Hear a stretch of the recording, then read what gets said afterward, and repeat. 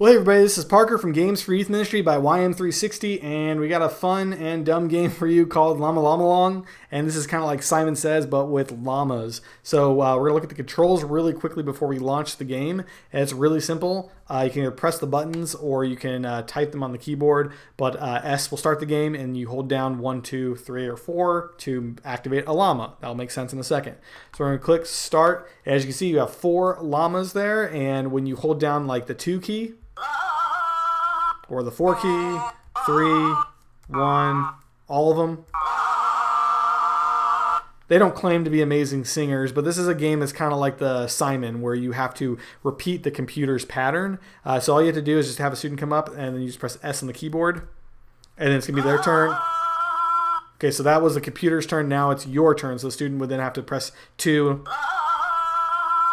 and then let go, and then it will continue doing the pattern, and you just have to remember the pattern that they do. Now it speeds up once you get to level four. I believe it starts speeding up and going a lot faster. So eventually it's gonna be like the um, really fast. So I'm actually gonna hit the wrong key, but eventually it will go.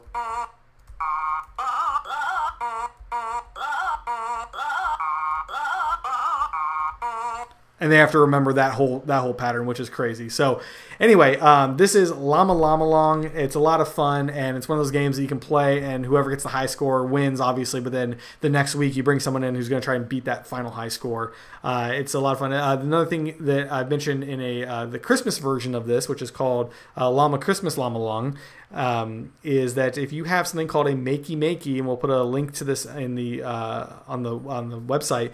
Uh, it's a little device that plugs into your USB port, and you can actually plug in other things that are conductive to use as replacements for the keyboard. So you can actually plug in bananas, which is crazy, but you can touch a banana and it will register on the computer as the one key, and then it will make that llama sing. So you can play Llama Llama along with four bananas on a table.